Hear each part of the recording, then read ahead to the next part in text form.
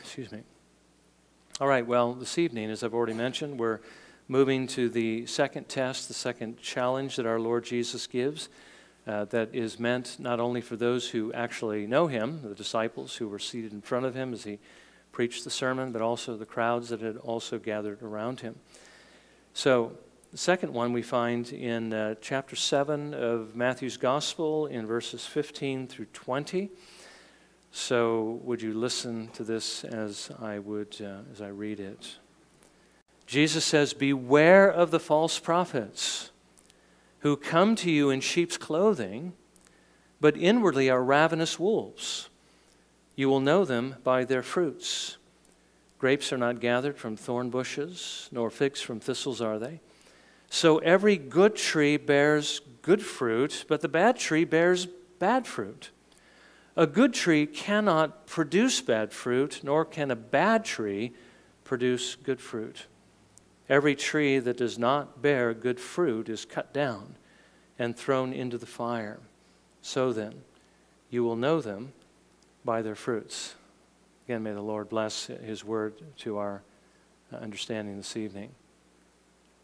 Now, this morning, remember, we saw that as Jesus is ending his sermon, he's issuing four challenges to his hearers, both to unbelievers and to believers. And of course, he's now issuing these challenges to us because we are the hearers of this particular sermon. Now, we saw already that he reminds us that there are the two paths, but only one of them leads to heaven. We need to look and make sure we're on the right path that there are many, secondly, as we're going to see this evening, that claim to teach us the truth about this path, how to get on it, how to walk it, but many of them aren't actually doing that. Are we listening to those who are telling us the truth? Thirdly, that there are many who believe that they're actually on this narrow path, who really are on the broad path, and the challenge is are we actually going to arrive in heaven? Are we actually walking? the narrow path. And then, fourthly, Jesus challenges us in the foundations. You know, we have a choice either to build our lives upon the truth or to build them upon lies. And of course, only those lives built upon the truth are going to be able to stand uh, against the difficulties we're going to have to face in life as well as at the final judgment when we stand before the Lord. Now, we've already looked at the first, as I've mentioned. If we hope to inherit eternal life, we do have to go through the narrow door, the only door, the Lord Jesus Christ. He is the only way to the Father, and we must live in the way that He calls us to live, even though the way is straight, and again, not just not curvy, but difficult. We will walk on this path because it is the only path we will want to walk on. Now, tonight we're going to look at the second challenge Jesus gives us, the second test that there are many who claim to teach us about this path, who claim to teach the truth, how to find it, how to walk on it, but that's really not what they're doing. And the question is are we listening to the right uh, teachers? Now, again, uh, in Bunyan's Pilgrim's Progress, we, we have some great examples of this. Uh, one I'm just going to mention quickly, another I want to read a little bit from. But remember when, uh, uh, he, even though uh, Bunyan already called the, the, the, main character Christian when he was in the city of destruction, he was not yet a Christian. He's reading the book, he gets awakened to the fact that he's in danger. The Lord sends Evangelist to him.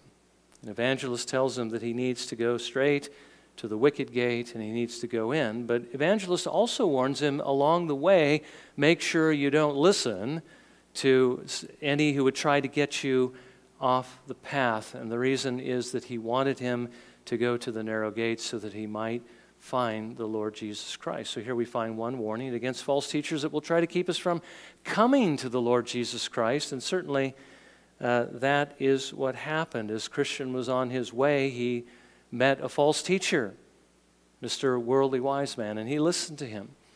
Worldly wise men told him that he didn't need to go to the wicket gate. Instead, he should go to the town of morality and speak to Mr. Legality, who would tell him how to get rid of the burden that was on his back. And of course, to do that, he had to climb Mount Sinai. In other words, worldly wise man was pointing him to the law of God in order to justify himself before God. He put him on the path of good works, and it almost destroyed him. Remember what the apostle Paul writes in Galatians 3:10. For as many as are of the works of the law are under a curse, for it is written, cursed is everyone who does not abide by all things written in the book of the law to perform them.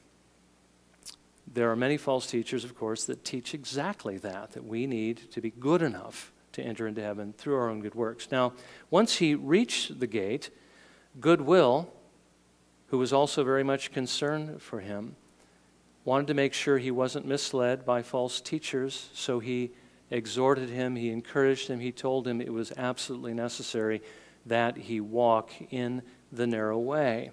Goodwill says to him in the book, Look just ahead of you. Do you see this narrow way? And how it goes ahead of us. It was established by the patriarchs, prophets, Christ, and his apostles. It is as straight a way as it is possible to find. This is the way that you must go. Now, Christian was already concerned because on his way to the gate, he had been deceived and had turned out of the way. So he asked this question But are there no turnings or windings or detours by means of which a stranger can lose his way? Goodwill says this Yes, there are many side paths that attach to this narrow way, and they are crooked and wide. But you must distinguish the right way from that which is wrong by observing that it is straight and narrow. You know, the interesting thing is when I drew this quote from the source that I did, he spelled straight incorrectly and made the same mistake. He's not saying it's not curvy, he's saying it is difficult. It's a difficult road, and that's one of the ways we can know that it's the right road. If it's easy, it's not the right road, because in this road there will be difficulties, there will be trials. Well, sadly, the same danger exists today. There are many teachers, and by the way, they're not just in the church, but they certainly are in the church. They are outside of the church as well, who are going to try to lead us away from the narrow door, from salvation by the grace of God through faith alone in the true Jesus Christ, and from the narrow path, from living the kind of life that the Lord actually calls us to live. And so Jesus says we need to be on our guard.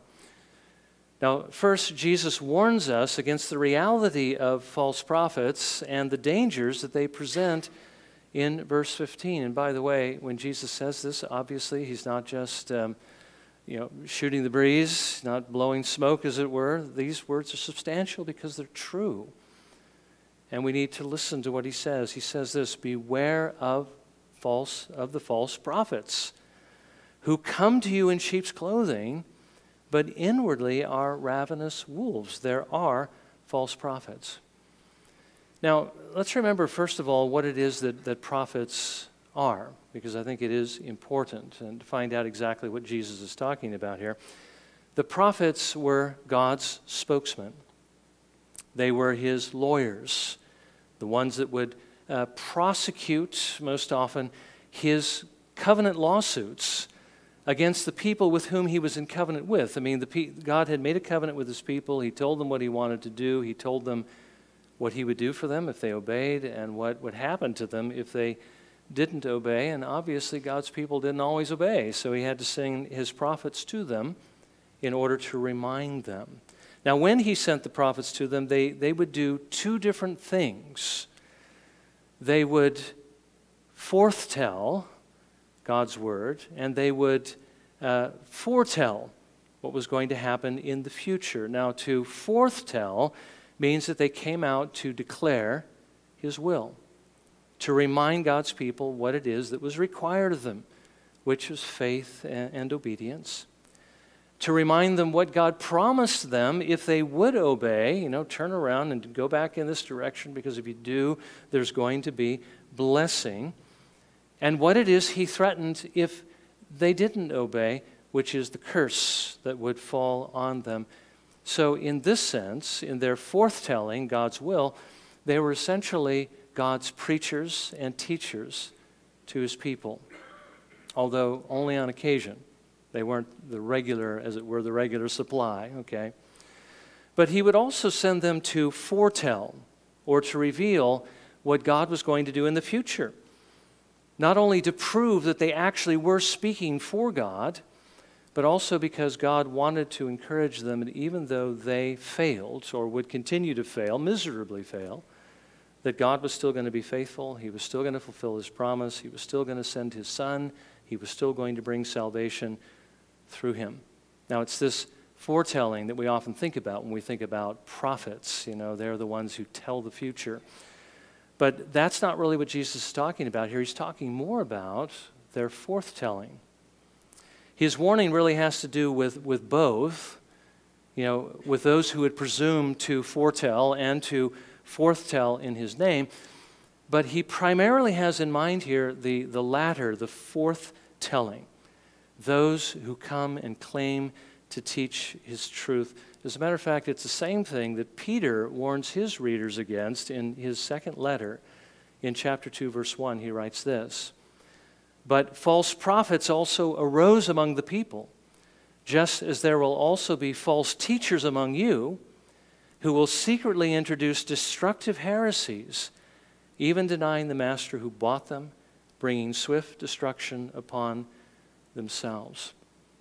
Now, when Jesus is saying this, the first thing we need to realize is he is talking about not so much those that tell the future, but those who come claiming to teach God's word. So, the people that he has primarily in mind right here, the ones he's speaking to the disciples and the crowds about, are the scribes and the Pharisees. They need to watch out for them. Now, we don't typically encounter scribes and Pharisees today, at least you know, as, we, as we think of them. They do exist, but they're not people we usually interact with. But we do, of course, run into many people who share this, basically the same teaching that they do, which is a teaching of works, okay? That we must be good enough. We must do enough good works. We must perfect ourselves enough, overcome enough of our sins before God is going to accept us, before He will justify us and really give us a right to heaven. Now, who is it that teaches those kinds of things today? Well, I think obviously the Roman Church probably comes closest to this, but they're not the only ones. The Jehovah's Witnesses, really, every cult teaches works as the way of salvation. Jehovah's Witnesses believe you have to join their organization, you have to learn from their teachers, you need to go door to door and join with them in, in sharing the good news about just come work with us and you'll inherit the kingdom. Of course, they have many other problems. They deny the Trinity, they deny the deity of Christ, they deny salvation by grace through faith alone. Um, they're some, they are one of the groups we need to watch out for. Mormons teach salvation by works as well. Uh, they work their way to godhood. They, they teach a false God. The God they worship, they believe, used to be a man, a human being just like us, but who worked his way to godhood. And, and now he's the God of this particular world. And Jesus essentially is the same. It's a false God, a false Christ, a false way of salvation. We've had no lack of false teachers in the history of the church. There's no shortage of false teachers today nor is there any shortage of those who actually claim to speak directly from God. Now, we understand that the prophetic gift, in, in the sense of direct revelation from God, in the sense of foretelling of the future, has come to an end. When the Bible was complete, that gift ceased. So we know when somebody comes to us and says, This is what the Lord says, we know not to listen to them. But we do still have to deal with the many people who come to us and who claim to teach from the Bible, but misrepresent what God is actually saying. Jesus tells us that we need to beware of them. We need to keep our eyes open. We need to be on our guard. Now, in a certain sense, we do need to be on our guard against anyone who teaches anything that is contrary to what the Spirit teaches us in the Word of God who adds to what the Lord says, who takes away from what it says, who distorts the truth in any way, Um, even if they happen to be sincere and well meaning. As a matter of fact, the people who are sincere are perhaps the more dangerous ones. We need to remember that everything the Lord tells us in His Word is important, that we are warned against adding anything to it or subtracting anything from it. Remember the canonical curse at the end of the book of Revelation. If anyone adds to the words of this prophecy, the Lord will add to him the curses that are in this book. If anyone takes away from the words of this prophecy, the Lord will take away from him his name from uh, the book of life. We need to be careful not to add or subtract. We must believe everything the Lord says in His Word. We need to obey all the commandments, everything He commands us in His Word we cannot simply pick and choose what we want to believe or what we want to do, what we'll accept and what we won't accept. Not only would this be to reject God's authority, but it would also be to redraw the map. I mean, God has given to us a map that leads to heaven. It would be to distort that to the point where we wouldn't even be able to tell where the path was any longer. So not only would it injure us, but it'll also injure anyone that we try to help if we happen to embrace ideas that aren't true. Now, that's particularly true if we get the gospel wrong.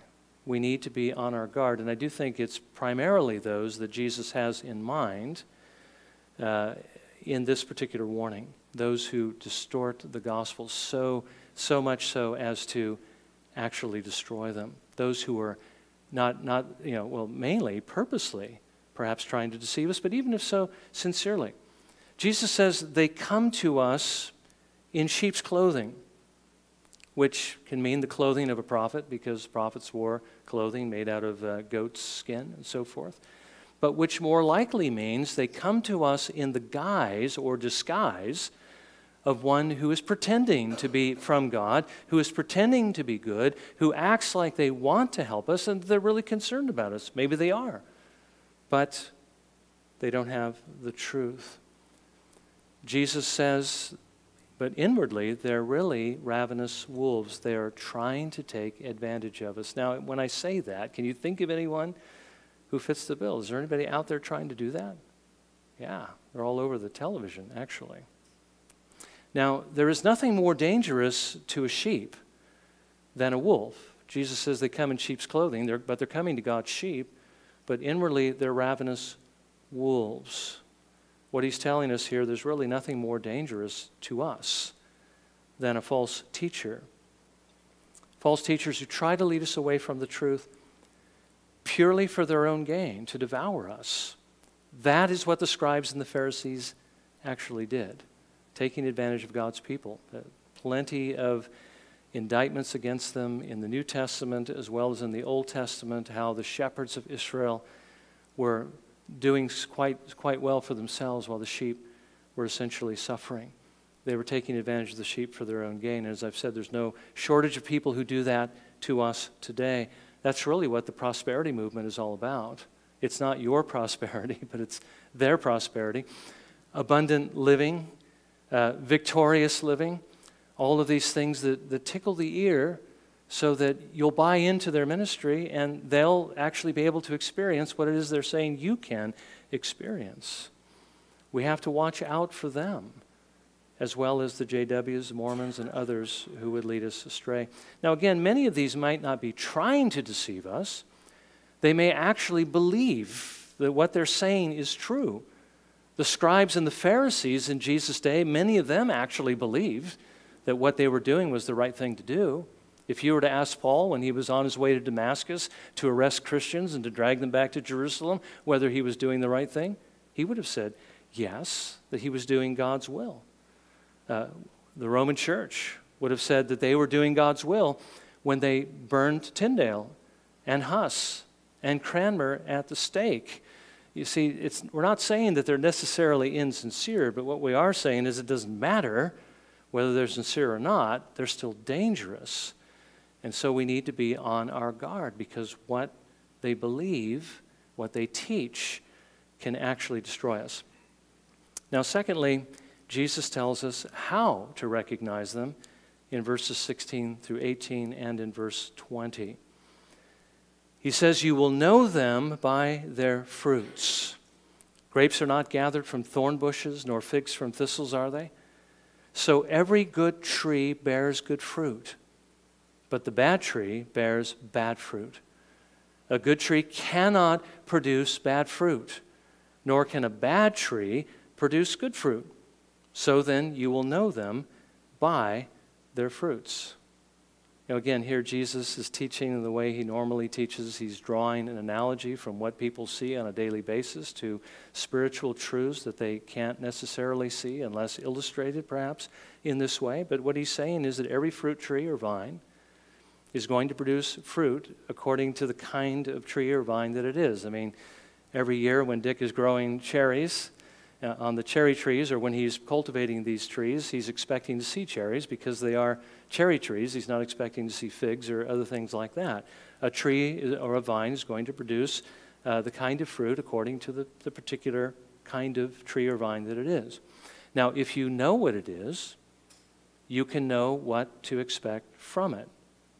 But if you don't know what kind of tree it is, you'll have to wait and see what it actually produces. And that is the case, of course, here with these teachers. You don't know, so you look and you see. Now, if the tree is a good tree, Jesus says it will produce good fruit, and we'll look at what that fruit is in a moment. But if the tree is bad, it will produce bad fruit. Now, Jesus goes on to say that it can't be otherwise. A good tree can't produce bad fruit. Now, he's not saying here, and perhaps you know, we've been confused by this kind of language because in a certain sense, this idea of bearing fruit and being a good or bad tree also applies to us, doesn't it? Some, it sounds like Jesus is saying here that if you're a good tree, you can't actually do anything wrong. But that's not what he's telling us here. He doesn't mean the tree's perfect. He doesn't mean that it's never going to do anything that's wrong or teach anything that's wrong. But what he is saying is a good tree cannot continually produce bad fruit. There will be some bad fruit, but it's not going to be the pattern of our lives or the lives of these teachers who are good teachers, a good tree, to produce bad fruit. They are going to consistently produce good fruit. The one who is born of God practices righteousness, okay? And he also says a bad tree can't produce good fruit. And by that, he doesn't mean that a bad tree will never appear to produce good fruit, but that it will not produce that fruit consistently, good fruit consistently, because it's a bad tree. It will produce bad fruit consistently. So, now how do we use this to identify the false teacher? Well, Jesus says, You will know them by their fruits. We need to examine their fruit. Now, there's at least three kinds of fruit that we can look for. And I think the first one is the main one teaching that lines up with Scripture. Secondly, a life that is consistent with that teaching.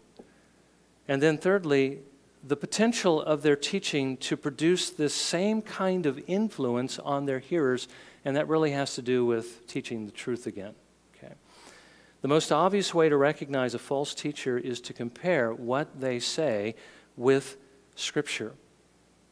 Now, in order to do this, you know, the, the tendency would be, and some have done this, just dive into books on false teaching, books on the cults, read about them, study them, learn everything they have to teach. And that's how you'll recognize it is that when you hear somebody saying it, then you'll have read it and that's how you'll know it.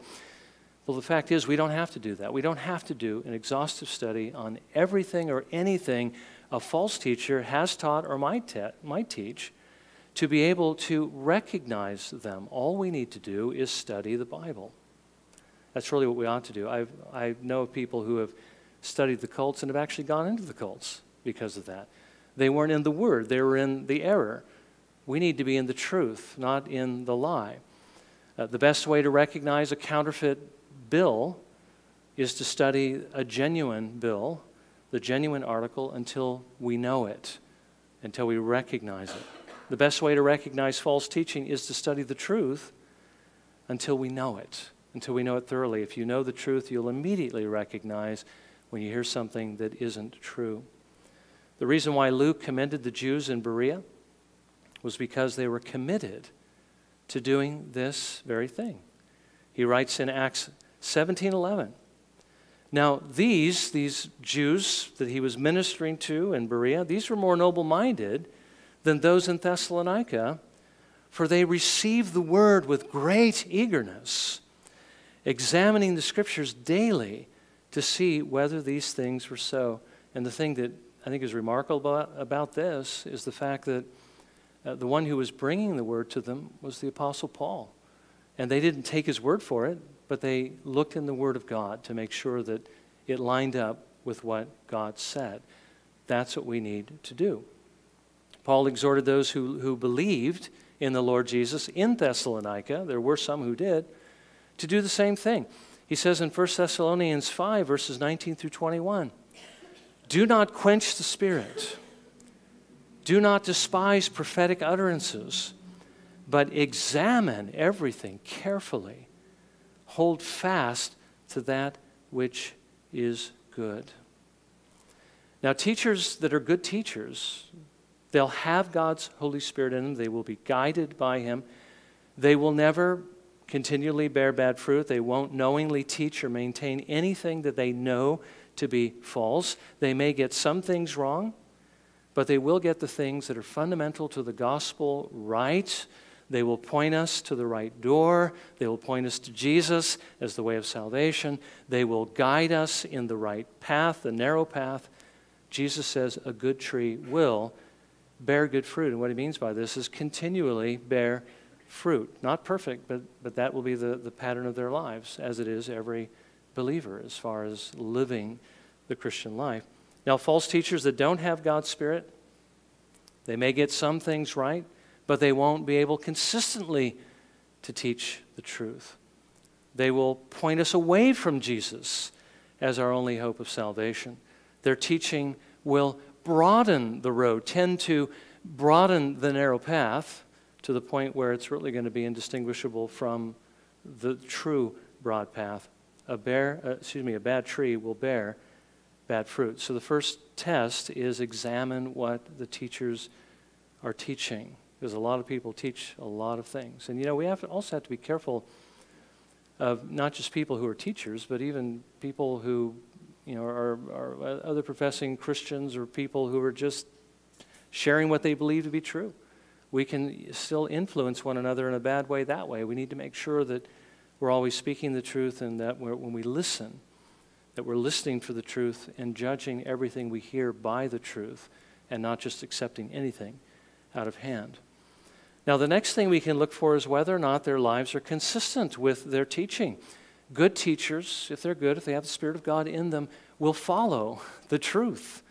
And in following the truth, they will become like the Lord Jesus. They, their lives aren't going to be shrouded in scandal. They're not going to be involved in dubious activities. They're going to reflect the image and nature of the Lord Jesus Christ.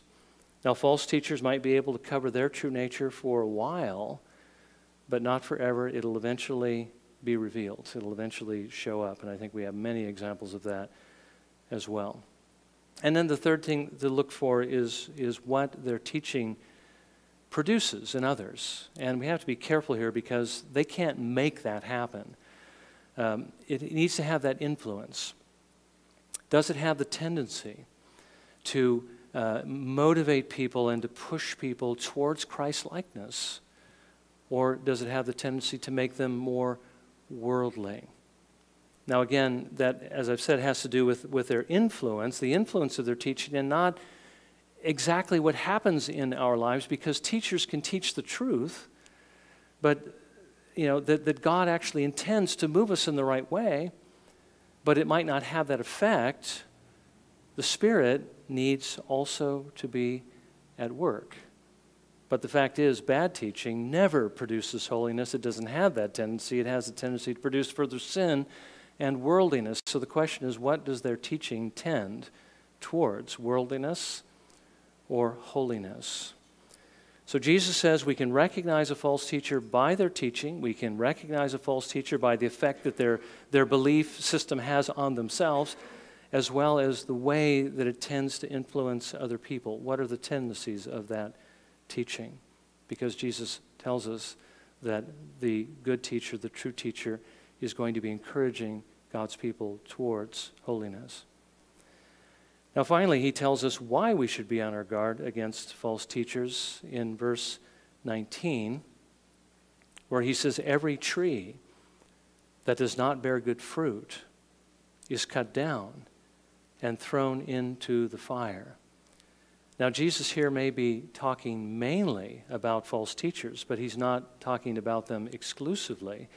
Because if we listen to false teachers, then we're going to end up doing the same thing that, that they do. And so our end will be the same as theirs. Uh, Jesus actually gives us a very similar warning, a similar warning to his disciples uh, in John 15, verse 2 and verses 5 and 6. He says, Every branch in me that does not bear fruit, he takes away. And every branch that bears fruit, he prunes it so that it may bear more fruit. I am the vine, you are the branches. He who abides in me and I in him, he bears much fruit. And the implication or the uh, is here, of course, good fruit. For apart from me, you can do nothing. If anyone does not abide in me, which means he's not going to bear fruit, going to be barren, he is thrown away as a branch and dries up, and they gather them and cast them into the fire, and they are burned. You remember the instance where Jesus is, is going out of Jerusalem in the morning? Actually, he's coming into Jerusalem and he sees a fig tree and he goes to the tree to, to find fruit on it. There's no fruit. He says, No longer will there be any fruit on you uh, from, from now on. Okay? And so then there's two different accounts. It either withers right away uh, which is sort of a conflated account, sort of condensed, or the one where Jesus leaves, again, Jerusalem comes back the next day. The disciples look at the tree and they say, How is this tree withered from, from the roots up? What, what happened to the tree? And, and it stands as a warning, doesn't it? A warning to us, a warning to Israel in particular, that Jesus has come looking for fruit year after year after year, and they're not bearing any fruit. And so they're close to being cursed, and that's exactly what happened after the Lord gathered his people out of Israel. But we have these images again and again of the importance of bearing fruit and bearing good fruit. Jesus says here every tree that does not bear good fruit is cut down and thrown into the fire. If we listen to these false teachers and they are successful in deceiving us, if they turn us away from Jesus, you know, there are you know where the Jehovah's Witnesses get their people? They, they prey on Trinitarian believers who really are not grounded in the truth and perhaps not converted, and they deceive them and they become a part of their organization. That's where they come from. Well, sometimes they're successful in drawing those who profess the faith away. And if they turn us away from Jesus, and certainly Jehovah's Witnesses do that, as our only hope of salvation, as the Judaizers were trying to do to the Galatians, as every one of these groups that teaches works for justification, or even those that would encourage us who are atheists that all of this is just a fiction. I mean, any of these people could turn us away if, if they're successful. And if they are successful in leading us onto the broad road, you know, the broad road that basically says anything goes, you can live the way you want to live as followers of easy believism actually teach in the church today, or the contemporary evangelical church that is continually downgrading holiness and the standard of God to the point where everyone essentially becomes a Christian. If we buy into this, we can end up being destroyed. Okay? We have to walk, we have to go through the narrow gate, we have to walk on the narrow path. That's the only way we'll be saved. I'm not saying, of course, that every broad evangelical church is obviously teaching these things. There are many that aren't, but that's the tendency. It's going on now. Things are continually, uh, they're lowering, as it were, the standard. And what is the standard that God actually gives us in His Word? What is it that makes the, the path so difficult? The standard is actually perfection. And it's hard to downplay perfection. Now, we do need to understand the good news is this that this will never happen to us. We will never be deceived by these false teachers and be led away from Christ onto the road and be destroyed. We won't because we, by God's grace, will listen to what Jesus is actually warning us to do here. And we will be on our guard against false teachers, and we won't listen to them, or if we happen to be deceived by them, He will not allow us to be deceived for very long. We will not fall away from the Lord. But this could happen to us if we don't truly believe in the Lord Jesus Christ, as it has happened to so many people who have been deceived by Jehovah's Witnesses and Mormons out of a Christian church into a cult. So we need to make sure we're listening to the warning that Jesus gives to us here. If you're trusting Jesus and turning from your sins and listening to Him, He will make sure that you stay on the right path. So, Jesus' warning to us this evening is be on your guard, beware of false prophets. Thomas Brooks wrote a whole book about this. I mean, these false prophets, they have somebody behind them. His name is Satan. And Satan appears as an angel of light to deceive, and they do as well because they are his messengers. And Satan is a very good fisherman, and he knows exactly what kind of bait to use for us. We need to be on our guard against all of these different ways that the enemy may try to deceive us. So listen again to what Jesus says, hold fast to him. Hold fast to His Word.